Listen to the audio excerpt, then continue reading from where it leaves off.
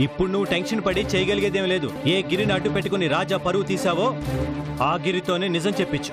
మీరు బాగుండటం కోసం నా ప్రాణాలు తీసుకోమంటారా? తప్పు జరిగిపోయింది అందుకు మమ్మల్ని అందరినీ శిక్షించటం రాజాకి న్యాయం కాదు.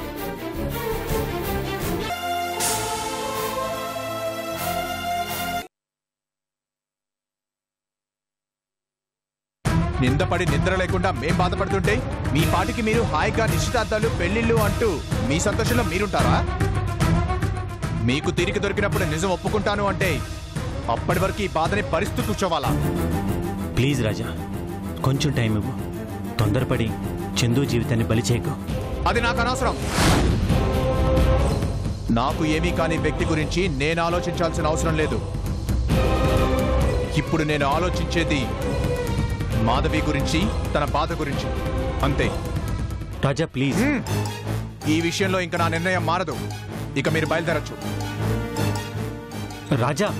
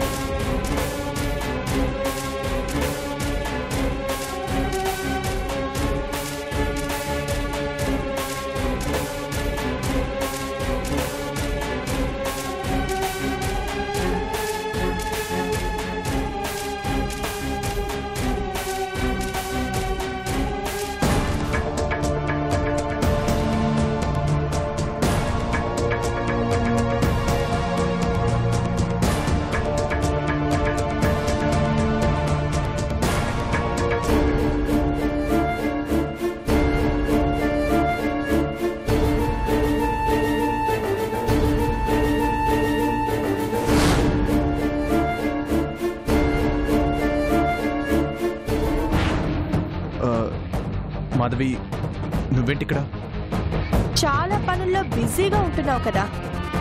మాట్లాడే టైం ఇంటి దగ్గర ఇవ్వడం లేదు.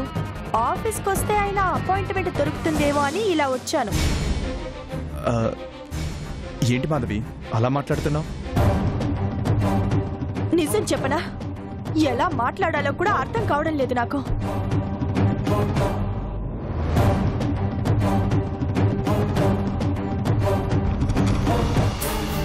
న్యాయానికి న్యాయం ఏం చెప్తాం? మంచికి మంచి ఎలా చెప్తాం? ఇప్పుడేమైందని? ఆ ప్రశ్న నేను అడగాలని వచ్చాను రాజా. ఏమైంది నీకు? ఎందుకు ఇలా ప్రవర్తిస్తున్నావు?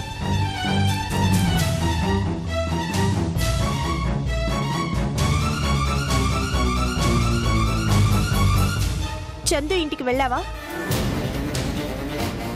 వెళ్ళాను. తప్పేముంది? అంటే? ఏది తప్పు అని విచక్షణ కూడా తెలియడం లేదన్నమాట.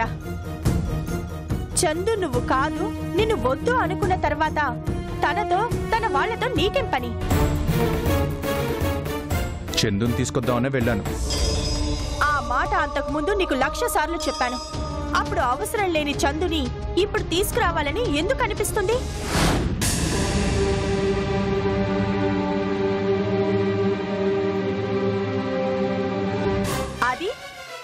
మరొకరితో పెళ్ళికి సిద్ధపడిన చందుని తీసుకురావాలని ఎందుకు అనిపించింది అది నీ మనసులో నుంచి ప్రేమతో పుట్టిన ఆలోచన కాదు.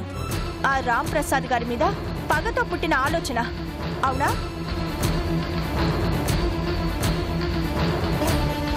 మీ పగలకు పంతాలకు ఒక ఆడపిల్ల జీవితాన్ని బలి చేయడానికి కూడా వెనకాడరన్నమాట. అప్పుడు చందుకి నీకు తేడా ఏముంది? మాధవి తనకి నాకు పోలికేంటి? ఎందుకు లేదు? ఆ రోజు నా పెళ్ళి చూపులు చెడగొట్టింది చందు. ఈ రోజు నువ్వు చేయాలనుకుంది అదే కదా. ఎందుకు రాజా ఇలా దిగజారిపోతున్నావు రాజా అంటే ఒకప్పుడు ఆకాశం ఎత్తున కనిపించేవాడు. ఆకాశాన్ని ఎప్పుడు తలెత్తి చూడాలి రాజా. తలదించి చూడగలిగేది నేలని నువ్వు ఆ స్థాయికి వచ్చేస్తున్నావు అది నీకు అర్థం అవుతుందా? మరి వాళ్ళు చేసింది బాగుందా? పది మందిలో నా పరువు తీసి మధ్యలో ఏ సంబంధం లేనటువంటి నిన్నిరికించారు. అది తప్పు కాదా? వాళ్ళు నన్ను అడ్డం పెట్టుకున్నారని నువ్వు చందును అడ్డం పెట్టాలనుకుంటున్నావా? అప్పుడు వాళ్ళకి నీకు తేడా ఏముంది? అతను రామ్ ప్రసాద్ అయితే నువ్వు రాజావి. అంతేగా తేడా? నీకు నీతులు చెప్పాల్సిన పరిస్థితి వస్తుందనుకోలేదు రాజా. మందికి నీడనిచ్చిన చెట్టు గురించి ఎవరు చెప్పుకోకపోవచ్చు. కానీ అదే చెట్టు కూలి ఒకరి ప్రాణం పోతే ఊరు ఊరు చెప్పుకుంటుంది. నీ గురించి అలా చెప్పుకునే రోజు రాకూడదు రాజా. అలా నిన్ను చూడాల్సిన రోజంటూ వస్తే ఆ రోజు నేనుండకూడదు.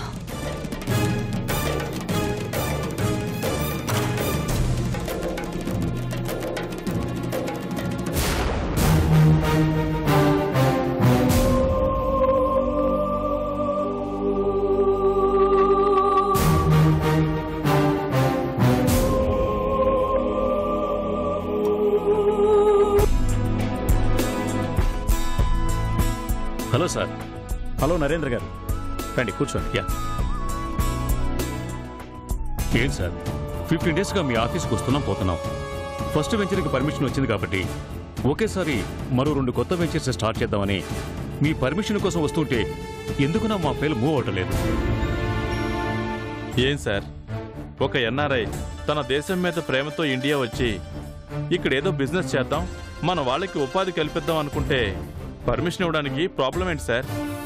ఎందుకు ఇవ్వలేదంటూ పదిహేను రోజులుగా ఆఫీస్కి వస్తున్నారు కానీ ఆ సైట్లో ఉన్న ప్రాబ్లంకి మీరిచ్చే సొల్యూషన్ ఏంటి అని చెప్పలేకపోయారు. స్టార్ట్ చేస్తేనే కదా సార్ సొల్యూషన్ ఇవ్వగలిగేది. అది మీ ఉద్దేశం మాత్రమే. మాకుండే డౌట్ క్లియర్ కాకుండా పర్మిషన్ ఇవ్వాలంటే ఎలా కుదురుతుంది?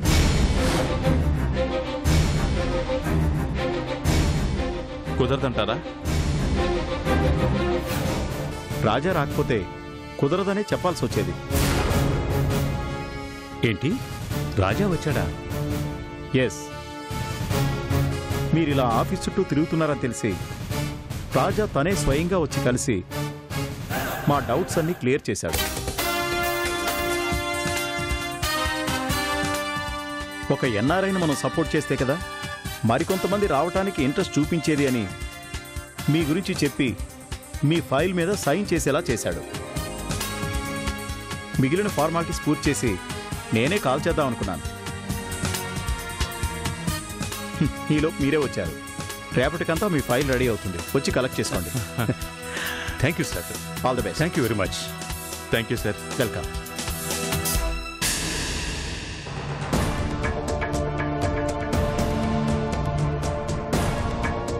రాజాని ఎలా అర్థం చేసుకోవాలో తెలియటం లేదు. నేనేమవుతానని తనకి ఇంత అభిమానం అడగకుండానే వచ్చి మన గురించి మాట్లాడి మన ఫైల్ మీద సంతకం చేయించాడంటే రియల్లీ గ్రేట్ పర్సన్ కదా. దాందే ఉందిరండి. ఎలాగే ఇక్కడికి వస్తూ ఉంటాడు. ఎవరో అనుకుంటుంటే విని మీ దగ్గర మెప్పు పొందడం కోసం ఓ మాట చెప్పుంటాడు. రాజాకి మీకు పర్సనల్ గ్రడ్జెస్ ఏమైనా ఉన్నాయా? చచ్చా అదేం లేదు. మరెందుకు? రాజా గురించి ఏ టాపిక్ చెప్పినా అందులో నెగిటివ్నే చూస్తారు. అంటే మీ స్థాయి వాళ్ళతో రిలేషన్ కోసం అలాంటి ప్రయత్నాలు చేస్తున్నాడేమో అని. అతను నా రిలేషన్ కోసం ట్రై చేయటం ఏంటండి? నేనే అతని రిలేషన్ కోసం ట్రై చేస్తున్నాను. రాజా లాంటి మంచి మనిషిని నేను ఇంతవరకు చూడలేదు. అతని కన్న తల్లిదండ్రులు ఎవరో కానీ చాలా అదృష్టవంతులు. రాజా లాంటి కొడుకు నాకుంటే ఎంత బాగుండేదా అని రాజాని చూసినప్పుడల్లా అనుకుంటాను.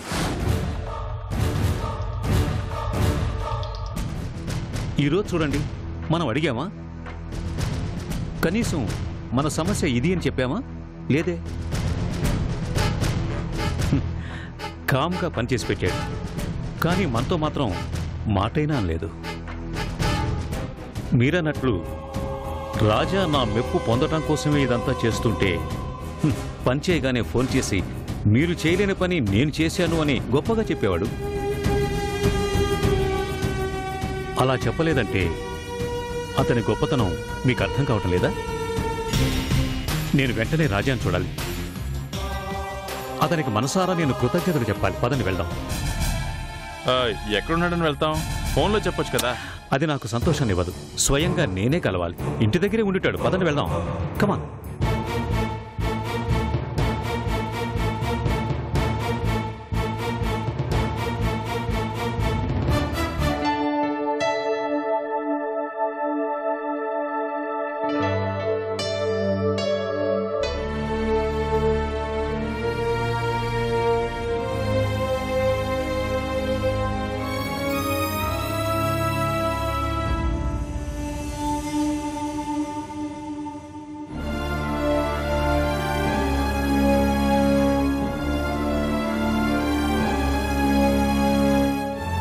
ఏంటి కృష్ణ అలా ఉన్నావు?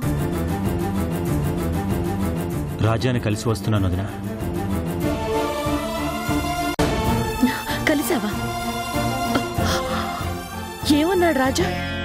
మాట వినే పరిస్థితిలో లేడు వదిన అవమానం తనకే జరుగుంటే క్షమించేవాణ్ణి. ఏ సంబంధం లేని మాధవిని మధ్యలోకి లాగారు.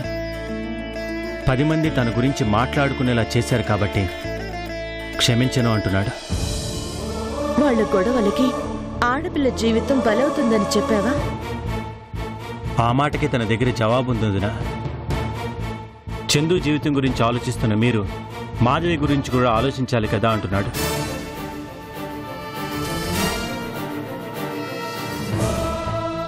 అసలు తప్పు మందే వదిన. నిశ్చితార్థం ఆగిపోవడానికి పెళ్ళి ముహూర్తాలు పెట్టకుండా ఆ సిద్ధాంతి వెళ్ళిపోవడానికి రాజాకి ఏ సంబంధం లేదంటే అన్నయ్య వినలేదు. ఎప్పుడో అన్నయ్య చేసిన సహాయంతో పైకొచ్చిన గిరిని అడ్డం పెట్టుకొని రాజా పరువు తీయాలని చూశాడు అన్నయ్య.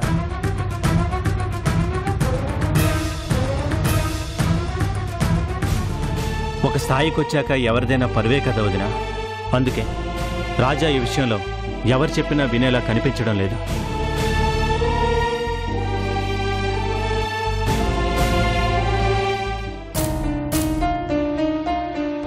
అర్చనా?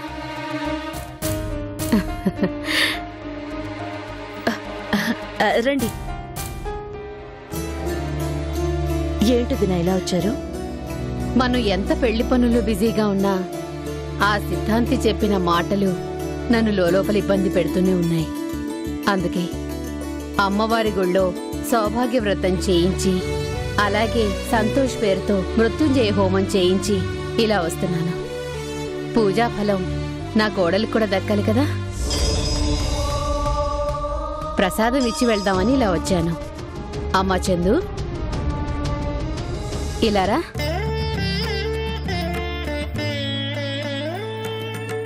ఇదిగోమ్మా అమ్మవారి ప్రసాదం. ఇక మీ పెళ్ళికి ఎలాంటి ఆటంకం లేకుండా ఆ అమ్మవారే చూసుకోవాలి.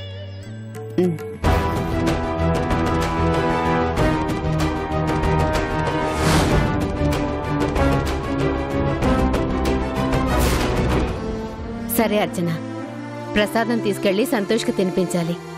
నేను బయలుదేరతాను.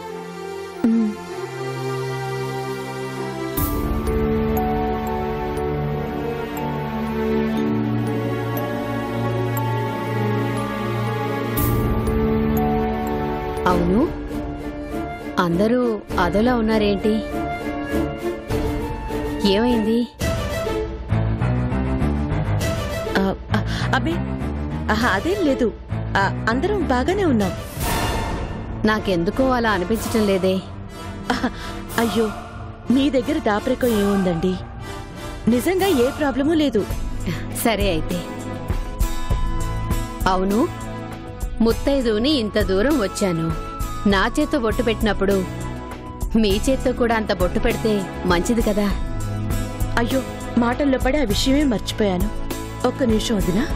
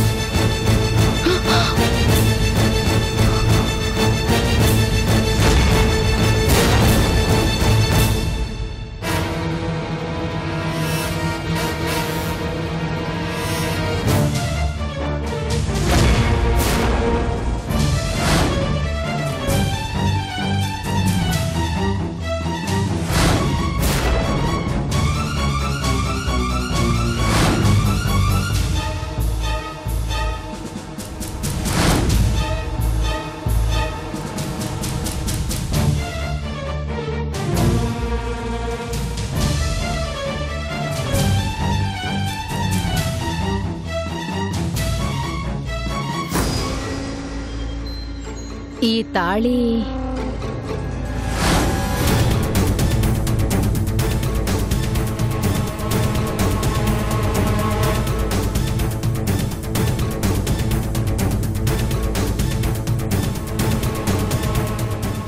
ఎవరు తెరిచిన ఆ తాళి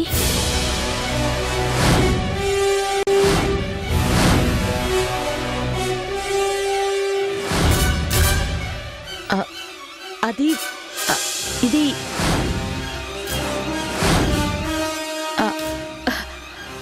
నా చెల్లెల్ది. ఓ సూర్యదా?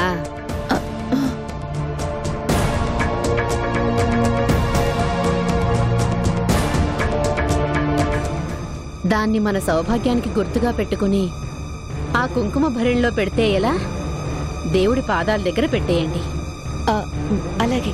ఉంటానర్చన ఉమ్, వస్తానమ్మా చందు. వెళ్ళొస్తాను కృష్ణ గారు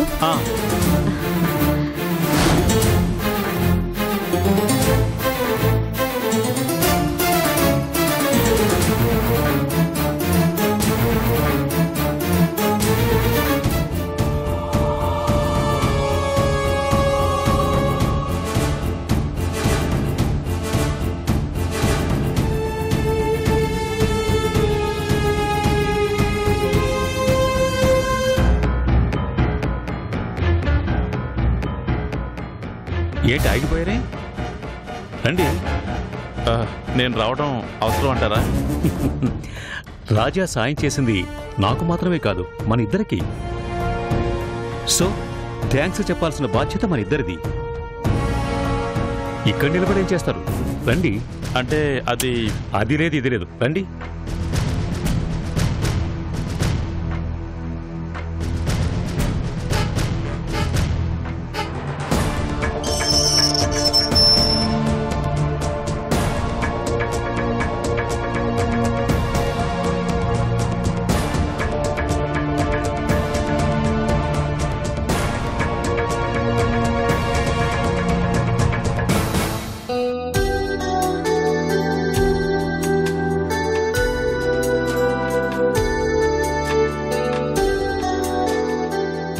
రాజా ఉన్నాడా?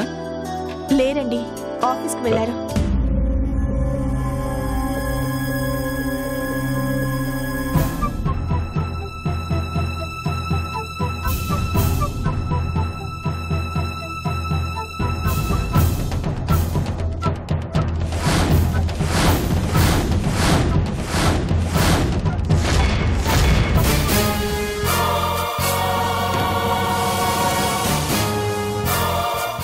రాజాని వెంటనే కలవాలని చాలా ఆత్రంగా వచ్చాను.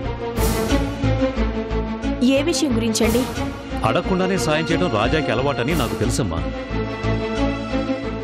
నా సొంత బిడ్డలాగా నా గురించి ఆలోచించి నాకు కూడా తెలియకుండా నాకు కావలసిన పనులని చేసి పెట్టాడని తెలిసి ఆ ఆనందంతో రాజాని వెంటనే కలవాలని వచ్చానమ్మా. కూర్చోండి. వస్తే భోజనానికి ఇంటికి రావచ్చు. లేదమ్మా కొంచెం పనుంది. ఫోన్ చేస్తే కలవలేదు. ఇంటి దగ్గర ఉన్నాడేమని వచ్చాను. నా ఆనందాన్ని తనతోనే పంచుకోవాలి. మళ్ళీ వస్తానమ్మా. ఆ, ఉండండి. మంచినీళ్ళు తీసుకొస్తాను.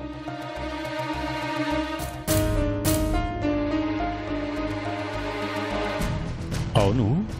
రాజా ప్రేమిస్తున్నాడు పెళ్ళి చేసుకోవాలనుకుంటున్నాడు అని సంతోష్ చెప్పింది ఈ అమ్మాయి గురించే కదూ? ఆ, నాకంతగా తెలియదండి ఓ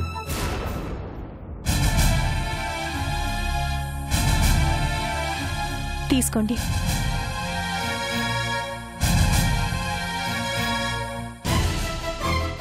రాజా మాట సాయం చాలు. రాజా పరిచయం చాలు అనుకునే వాళ్ళు చాలా మంది ఉంటారు అలాంటిది రాజా నీ జీవితంలో సగం అవటం అంటే నీకన్నా అదృష్టవంతులు ఎవరు ఉండరమ్మా ఆలస్యం చేయకుండా త్వరగా పెళ్ళి చేసుకోండమ్మా.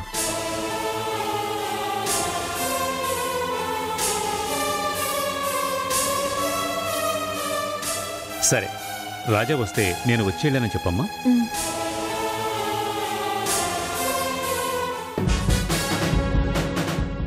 ఒక్క విషయం మాత్రం రాజాకి మర్చిపోకుండా చెప్పమ్మా. అతను ఇంతకు ముందులా కలవకపోవటం ఫోన్ చేసినా రెస్పాండ్ కాకపోవటం చూస్తుంటే తన మీద పడ్డ నింద మూలంగా అతను అందరిలో కలవటానికి ఇబ్బంది పడుతున్నాడా అనిపిస్తోంది. రాజాకి అవమానం జరిగిందంటే అది మాకు అవమానం జరిగినట్లే. అది నింద మాత్రమే అని నిరూపించి తన మీద పడిన మచ్చ తుడిచేసేదాకా నిద్రపోమని చెప్పు.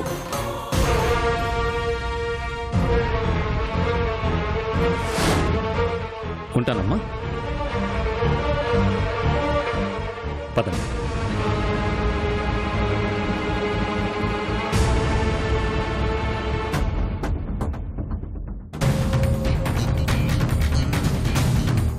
వ్యాపారంలో ఎవరెవరో శత్రువులు ఉంటారు వాళ్ళేదో చేస్తే మనం అతని విషయంలో ఇన్వాల్వ్ అయితే అవతల వాళ్ళు మనకు శత్రువులు అవుతారు అయినా రాజాకు జరిగిన అవమానం గురించి మనకు అవసరం అంటారా? మన కోసం ఇంత చేసిన మనిషి గురించి ఆలోచించకపోతే మనం మనుషులం కాదు. మనకెంతో సాయం చేసిన రాజాకి ఈ మాత్రం చిన్న సాయం చేసి కొంచెమైనా రుణం తీర్చుకునే అవకాశం ఇచ్చాడు ఆ భగవంతుడు. ఈ అవకాశాన్ని మీరు వదిలినా నేను మాత్రం వదలండి కూర్చోండి.